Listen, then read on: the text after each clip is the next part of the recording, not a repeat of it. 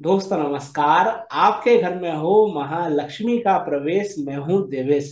दोस्तों, अमेरिका में अभी चल रही है फेडरल रिज़र्व की मीटिंग उसके बाद कौन सा सिम सिम खुलेगा? बड़ा सवाल है यह। तो इसी बैकग्राउंड में जेपी मॉर्गन ने जो है अपने क्लाइंट्स को लिखा है और बहुत ही इंटरेस्टिंग बात कही है। पूरे घटनाक्रम की हम चर्चा करने वाले हैं इस वीडियो में। तो पहला सिनेरियो जो सबको पता है, सब उम्मीद लगाए हैं कि भाई साहब, पिछले तीन बार फेडरल रिज़र्व ने पौन परसेंट से ब्याज दर बढ़ाई थी और इस बार भी वो ऐसा ही करेंगे। और साथ में ये कह सकते हैं वो कि साहब, आगे आने वाले समय में या तो हम धीमे धीमे बढ़ाएँगे या रुक रुक के बढ़ाएँगे और देखेंगे कि महँगाई की हालत कैसी है, स्थिति के अनुसार निर्णय लेंगे। तो ये है मोस्ट प्रोबेबल आउटकम सबको उम्मीद है कि ऐसा हो सकता है और इसी उम्मीद में हमारे मार्केट, अमेरिका की मार्केट सबने अच्छा परफॉर्म किया है। लेकिन दोस्तों, कल हो सकता है एक सिनेरियो पॉसिबल है। वो क्या है भाई साहब? कि वो पौन परसेंट ब्याज दर ना बढ़ाएँ, बल्कि आधा परसेंट बढ़ाएँ। और साथ में वो ये बोले कि भाई साहब, हम जो है महँगाई को सहने के लिए तैयार हैं। महँगाई के चक्कर में हम मंदी को पैदा नहीं करेंगे। थोड़ा हम इंतज़ार करते हैं ब्याज दरों पे बढ़ाने की रफ्तार में। अगर अगर अगर फेडरल रिज़र्व ने ये वाली बात कह दी तो मार्केट के रॉकेट में लग जाएगी आग। और जेपी मॉर्गन का कहना है कि मार्केट में एक दिन में, एक दिन में 10 परसेंट का डबल डिजिट रिटर्न आएगा S N P five hundred में।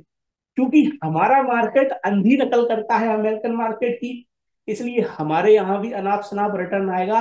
अगर फेडरल रिज़र्व ने पौन परसेंट की बजाय आधा परसेंट ब्याज दर बढ़ाई, हालाँकि जेपी मॉर्गन का कहना यह है कि इस बात की संभावना कम है, लेकिन हुआ तो मार्केट में सोने पर सुहागा हो जाएगा। अब चूँकि अमेरिकन फेडरल रिज़र्व का ऊँट किस करवट बैठेगा, ये किसी को नहीं पता।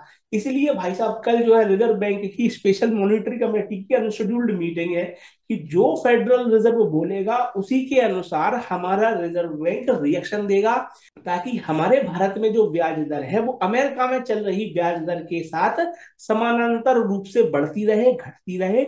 ऐसा ना हो कि भैया कारवां गुजर गया, हम गुबार देखते रहे। अब दोस्तों क्योंकि मार्केट में पता नहीं है कि कल क्या होगा, इसलिए अगर आपने रोलर कोस्टर राइड में एंजॉय किया हो जब आपकी राइड सबसे ऊपर जाती है तो वो थोड़ा सा रुकती है और यही हो रहा है हमारे साथ, ना सिर्फ़ भारत का बल्कि अमेरिकन। दोनों ही मार्केट अभी थोड़े समय के लिए इंतज़ार कर रहे हैं बड़े इवेंट के पहले।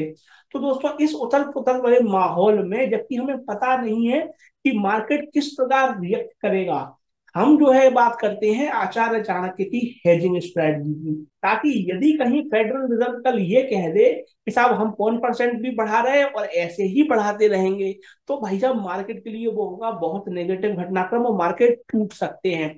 तो उस सबसे खराब केस के लिए भी हमने तैयारी कर रखी है मार्केट में कुछ भी हो, हर स्थिति में अभिमन्यु के रूप में, हम चक्रव्यूह में घुसे ज़रूर है लेकिन मरेंगे नहीं, ज़िंदा बाहर निकलेंगे, ये कमाल है आचार्य चाणक्य की हेजिंग स्ट्रेटजी का।